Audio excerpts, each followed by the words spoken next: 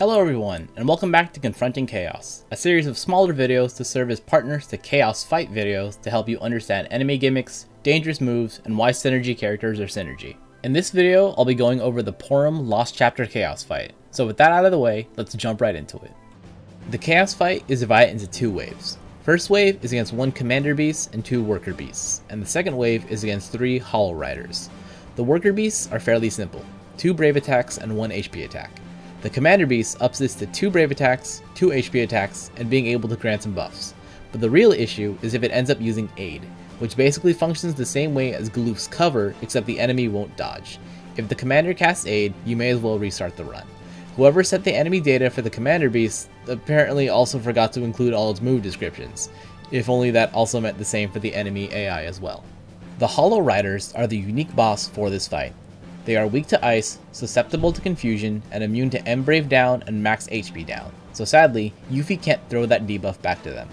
On their first set of actions, one of them will cast Will of Destruction, an aura which reduces party HP by 33%. Their signature move is Clinging Nightmare. It'll change its bravery to 0, performs a group HP attack, followed by a group hit and then another group HP attack. The fact that the move is 2 HP dumps means that last stand type passives will not work against it. Their stat boosting move, Rule of Ruin, will also cleanse the rider of all debuffs and grant it an invisible but high chance of evading debuffs. The tooltip says immune, but based on my run it doesn't seem to be quite 100%, just very high. Most of their moves are single target and about half of them are melee. With the enemies out of the way, let's analyze the boosted characters for this fight. Porom is a healer, a very good healer. She's I believe the only healer who can do HP overflow while others provide it through an aura. This coupled with her HP damage reduction frame buff means a team with her has very high survivability. She also provides auras via buffs entirely on herself, so in terms of buff slots, she's very efficient. She can battery off all her moves and has a chance to confuse an enemy with her S1. A great support, with her only issue being she can't really contribute in terms of Brave Shave, so the rest of the team needs to make up for it. Yang is the other EX unit on the banner, and as always, he's very proficient at dealing splash damage. His EX cast is at most 80% splash, and he provides his own high potency Embrave buff, so he's got plenty to work with. He also has good buff longevity with his 3 of 3, as his Brave and HP++ attacks will not decrement his EX buff. Palom, well, he does ice damage, he does splash damage, but his EX is not available on this banner, nor does he have EX Plus available. So if you want to bring him here, I won't advise it, but more power to you. With the Hollow Riders being weak to ice, the summon of choice is most obviously Shiva. Leviathan is also a possibility since unless you're running a dodge team, you're likely to be going to be hit for HP damage at least once in the fight. On the topic of dodge teams, it's pretty dang useful here. As you may see in my run, Galuf covered and dodged basically every normal move of the Hollow Riders throughout.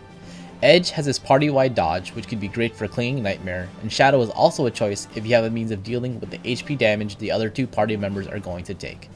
Beatrix is also an option for her Holy Knight's Safeguard buff, but do be aware that since it's based off her EX cast, it won't be up that often. For friend choice, you're likely best off just for big damage, because by the end of the fight, the enemies have high immunity towards most debuffs. As for the team I chose, here's the breakdown. You may be looking at this team like, wait, there are two tanks, but tr trust me, it works out.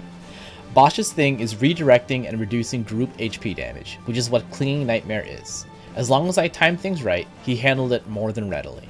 He also has 4 frame buffs himself, which in this fight was almost a bad thing, as cover needs to take up a frame slot, but hope can also apply 2 frame slots, so I needed to be aware of when I use certain buffs. Hope is reworked, shiny, and is a great support overall. He provides good auras, party healing, damage mitigation, and his EX cast does full group damage and has decent overflow even at low investment. Shell helps alleviate the damage that the rest of the party can't properly handle. All around, he's a very good choice. Since most of the Hollow Rider's attacks are single target, Galuf works out pretty well here.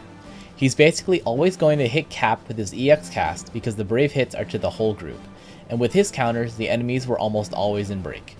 Basch's lock didn't even matter later in the fight, thanks to Galuf's cover buff. With that, this Chaos fight should be covered. If you want to see my footage of this fight, I'll link it in the corner and in the description below. If you liked what you saw and want to see future fights, subscribe so they show up as they're made. If you have any suggestions or thoughts, drop them in the comments below. Thanks for watching, and I hope to see you in the next one.